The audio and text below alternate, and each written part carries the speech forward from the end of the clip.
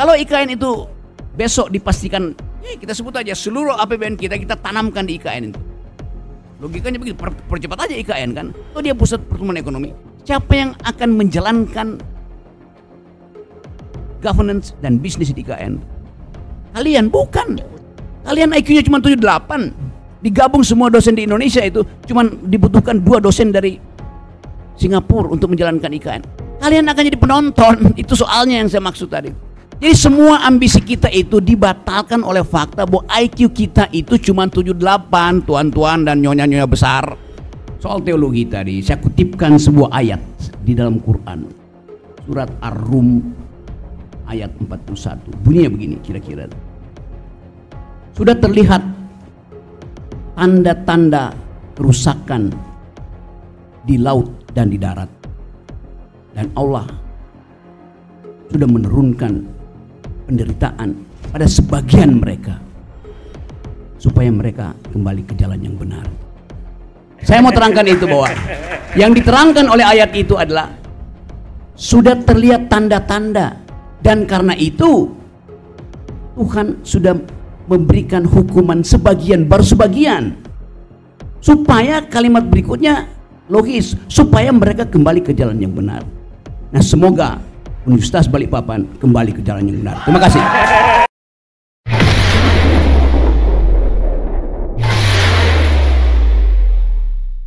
Langsung Bung Rocky tadi dari Pak Pendeta ini kaitannya dengan uh, ekologi ya, terkait dengan eksplorasi, eksploitasi alam kita.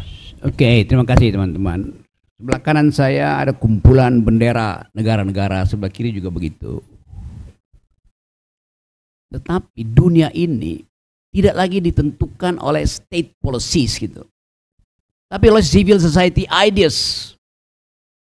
Mana ada bendera uh, Amnesty International sini? Mana ada bendera Greenpeace? Ada. Padahal mereka lah yang menentukan arah regulasi dunia. Amerika akhirnya takluk pada mahasiswa di Columbia. Inggris takluk pada mahasiswa di Eropa tentang Israel. Bukan karena negosiasi antara negara-negara barat, tapi karena tekanan dari pikiran-pikiran anak muda. Berubah, Joe Biden berubah pikiran-pikiran eh, negara-negara barat terhadap Israel. Jadi itu yang saya sebut fungsi dari masyarakat sipil yang bahkan akan membypass keterangan negara. Tadi contoh tentang ya, kita tahu bahwa Pak Randy, Pak Is itu punya semacam keinginan untuk menghidupkan ekonomi. Iya betul. Tapi e-, ekonomi itu hidup kalau ada trade off antara infrastruktur, antara jalan tol dan jalan pikiran. Mau pilih mana? Itu masalahnya. Kan nggak bisa dua-duanya tuh. Soalnya tuh. Nah kita tadi saya terangkan kekurangan pikiran itu masalahnya. Kenapa kita bangun jalan tol bukan jalan pikiran? IQ kita 78, mau bersaing dengan apa tuh? Yo iya, multi layer 30 tahun ke depan. 30 tahun ke depan itu kata seorang ekonom ternama yang mengajarkan kita tentang prinsip ekonomi, John Maynard Keynes, di masa depan kita udah mati. Jadi hitungan-hitungan teknologi itu 30 tahun itu udah udah nggak ada yang namanya ide tentang IKN. Separuh dari kita di sini akan jadi robot. Yang yang datang ke saya nanti ada robot Bagian hologramnya aja yang muncul di kita tuh. Kalau IKN itu besok dipastikan, ya kita sebut aja seluruh APBN kita kita tanamkan di IKN itu. Logikanya begitu, per, percepat aja IKN kan. Itu dia pusat pertumbuhan ekonomi. Siapa yang akan menjalankan governance dan bisnis di IKN? Kalian bukan. Kalian IQ-nya cuma 78. Digabung semua dosen di Indonesia itu cuma dibutuhkan dua dosen dari Singapura untuk menjalankan IKN. Kalian akan jadi penonton. Itu soalnya yang saya maksud tadi. Jadi semua ambisi kita itu dibatalkan oleh fakta bahwa IQ kita itu cuma 78 tuan-tuan dan nyonya-nyonya besar. Itu yang nggak dimengerti oleh seseorang yang namanya Joko Widodo karena saya sebut dia bajingan tolol. Dia nggak tahu perbandingan komparasi di ke depan itu. Itu soalnya. Saya tahu eh, keinginan Pak Randy, keinginan eh, Pak Is segala macam tuh. Tetapi di dalam analisis politik dunia itu, akan dibatalkan oleh prinsip baru yaitu regulasi yang lagi dibuat untuk menghukum Indonesia. Jadi simpel sebetulnya itu. Bahwa kita tentu ingin ada pusat pertumbuhan di Kalimantan Timur. Tapi dengan merusak lingkungan, kita dapat penalti. Semua produk dari Kalimantan Timur akan di, di, di, di, di, uh, dihalangi. Di, sekarang udah mulai di Eropa tuh di, di boykot. Orang akan tanya, Anda minum kopi dari mana tuh? Oh ini kopi gayo dari Aceh. Oke, okay. bisnisnya begitu. LSM LSM dari Eropa itu disewa oleh pemerintah Prancis untuk riset. Benar nggak kopi itu dari dari Aceh? Benar. Ditanya gunung keberapa dari Gayo itu yang ada? Di lokasi keberapa? Koordinat berapa? Dicari di Google. Tadinya ini 20 hari lalu ini masih hutan. Kenapa sekarang jadi kebun kopi? Nggak akan ada yang beli kopi kita. Demikian juga soal IKN sama aja. Jadi kita berpikir the future ideas. Itu intinya tuh. Jadi sekali lagi saya tahu keinginan kita itu, ya saya nanti saya bicara pada semua uh, uh, presiden dan mantan presiden teman saya itu, Pak Randy mau jadi ketua ketua otorita, Pak uh, Is mau jadi gubernur di sini. Tetapi saya tidak mungkin berbohong di dalam metodologi. Itu soalnya tuh. Kita lihat dari awal gitu. Jadi sekali lagi kesempatan ini saya mau terangkan itu supaya saya tidak jadi humas dari IKN di sini nih. Itu soalnya tuh. Paham ya? Oke. Sekali lagi itu dasarnya. Nah, itu yang saya puji dari Universitas Balikpapan bahwa mengundang saya untuk bertengkar. Itu soalnya tuh. Soal tadi teologi tadi, ada contoh paling besar tuh. Menara Babel itu, the Tower of Babel di Babilonia itu adalah penanda untuk menghidupkan semacam itu kan semacam IKN dari dari kerajaan Babel itu, Babilonia. Menara Babel berantakan akhirnya. Kenapa? Karena Yahweh, Tuhan tidak mau berinvestasi di kedunguan Babilonia.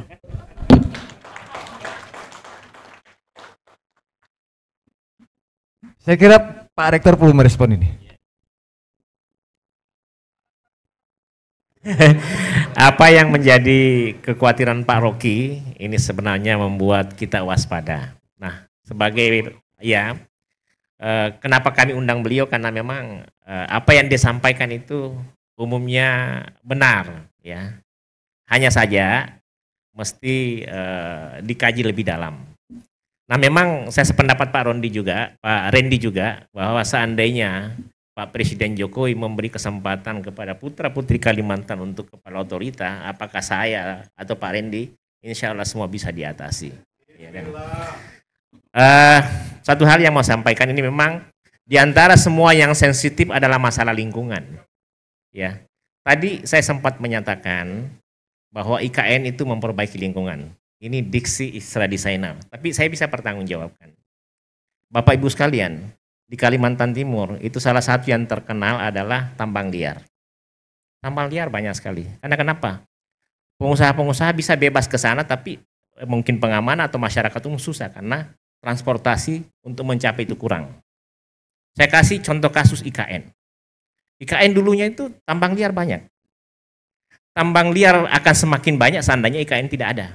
Nah sekarang dengan ada IKN, tambang liar yang ada diperbaiki, tambang liar yang ada tidak bertambah, dan itu ada komitmen.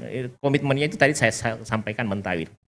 Kemudian saya nyatakan lagi, IKN ini Pak, ini jangan kita membayangkan, banyak profesor Amerika yang beranggapan bahwa IKN itu hutan hutan primer, IKN itu 180 ribu hektar hutan tanaman industri hutan tanah saya ulangi hutan tanaman industri yang dipakai sekarang sekitar 50 ribu hektar.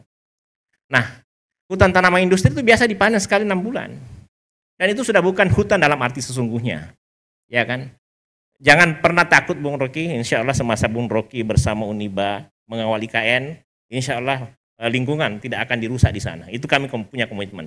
Langkah kami apa? Ada beberapa langkah kami. Baru-baru, Kaltim adalah salah satunya daerah di Indonesia yang menerima eh, kompensasi karbon hingga 2,5 triliun. Uniba bekerja sama Universitas Brunei Darussalam, Universitas Sarawak Malaysia dan universitas yang ada di Kalimantan komit untuk itu. Kemarin kami podcast, eh, bukan podcast semacam eh, Zoom untuk bikin penelitian satu terkait bagaimana mempertahankan karbon itu bagi Kaltim. Bagaimana mempertahankan Kaltim itu sebagai lang of the world hutannya. Jadi bukan lagi Uniba, bukan lagi hanya Uniba wakil Indonesia. Minggu lalu kami MOU dengan Kepala Otorita IKN. Dia pesankan, tolong Pak Is bagaimana ke depan supaya uh, kita bekerja sama dengan yang di luar. Saya bilang sudah Pak, di Uniba itu sudah lakukan. Bahkan kami, ini salah satu uh, Uniba jadi panelis internasional di Belanda, di Amsterdam. Kita berangkat ke sana tanggal 21 Juli. Untuk bicara apa? Forest di Kalimantan. Kita meyakinkan bahwa itu tidak. Meski demikian, Pak Anu, uh, konsep IKN benar, tapi kadang-kadang dalam aplikasinya yang kurang pas. Nah, Uniba dan Rocky Gerung ini akan mengawasi. Dan saya yakin kalau Pak Rocky Gerung dengan Uniba mengawasi, insya Allah. Kami berkomitmen, kami itu di awal-awal ada orang ditanya sama orang bagaimana meyakinkan IKN itu bisa uh, dibangun di sana, khususnya konstruksi. Saya jamin, saya ketua Persatuan Insinyur Indonesia waktu itu. Hanya saja mungkin ini yang yang perlu perbedaannya dengan pengamat lain. Kalau saya Pak, kalau di IKN, kalau tidak ke sana dalam satu minggu itu sakit kepala. Kami di sana tiap minggu, ya kan. Dan kami adalah salah seorang di Indonesia yang paling intens. Kami juga ini saya melapor sama Bung Rocky Gerung nih. Saya ini Bung Rocky, orang Kaltim, yang pernah ikut lomba, jadi ada semacam lomba untuk jadi deputi eselon 1. Dari 120-an peserta, ada tiga besar. Dan yang tertinggi nilainya saya. Orang bilang akan diangkat sama presiden. Ternyata nyatanya tidak. Meskipun saya siang malam membela IKN Bung Rocky. Tapi itu mungkin takdirnya lain. Saya ya, ini harusnya melawan sekarang. Nah, eh, kawan saya terkait ekoteologi, waktu IKN saya 1 Juni sampai 2022 itu adalah tim ahli tim transisi IKN. Apa yang saya, saya nyatakan? Saya bilang kalau saya punya wewenang, ada tiga yang pertama saya selesaikan. Selesaikan tanahnya. Ya kan? Jamin mereka masa depannya itu selesai kalau jamin. Saya pernah bilang, semua anak-anaknya yang terdampak di IKN dia punya eh, tanah, itu mesti eh, dijamin beasiswanya. Kalau misalnya ada masyarakat adat di kawasan yang ramai itu, tetap ada. Tidak apa-apa karena di dunia internasional itu kota tua itu lazim. Sepanjang itu betul-betul ada sejarahnya, ya kan? Yang ketiga, udara itu debu dipastikan itu aman. Kemudian eh, saya melihat ini sampai hari ini mudah-mudahan itu konsisten bahwa kita akan membangun urban area cuma 25 persen, hutan 75 persen. Nah, sebagai bayangan Eh, kita jangan pernah membayangkan hutan di IKN itu adalah hutan dalam arti sesungguhnya. Jadi hutan dalam arti sesungguhnya sejak berpuluh-puluh tahun yang lalu sudah jadi hutan tanaman industri.